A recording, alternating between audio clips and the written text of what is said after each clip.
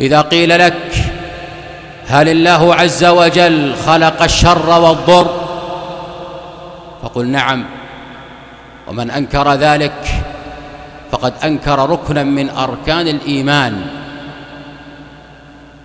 الله خالق كل شيء. إنا كل شيء خلقناه بقدر.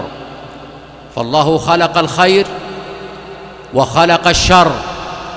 لكن لتعلم أن الله عز وجل لا يخلق الشر لذات الشر فليس في خلقه شر محض لا إما أن يخلق الخير لذات الخير وإما أن يخلق الشر لخير باعتبار آخر نزل بك ضر من مرض أو نحو ذلك هو شر بالنسبة إليك ولكنه خير بالنسبة إلى غيرك فيعتبر وقد يكون خيرا لك باعتبار وهو شر لك باعتبار.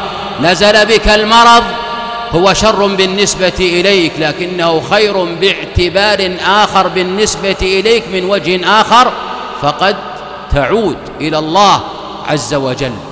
ولكن ليعلم أن الشر لا ينسب إليه تأدبا وإلا فهو الذي خلق الخير والشر. انتبه لكن لا ينسب إليه تأدبا ولذلك في صحيح مسلم في دعاء النبي صلى الله عليه وآله وسلم والشر ليس إليك. أيوب قال إني مسني الشيطان بنصب وعذاب مع أن الذي أنزل به النصب هو الله جل وعلا لكن لم ينسبه له جل وعلا تأدبا. الجن وأن لا ندري أشر أريد بمن في الأرض. لم يقولوا أراد الله أشر أريد بمن في الأرض.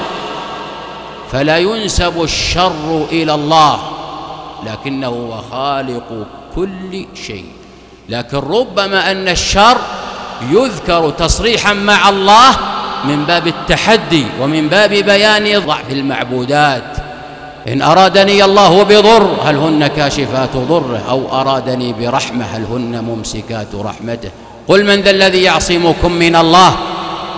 صرح هنا إن أراد بكم سوءا أو أراد بكم رحمة. هذا من باب التحدي وبيان ضعف المعبودات وبيان ضعف المخلوقات.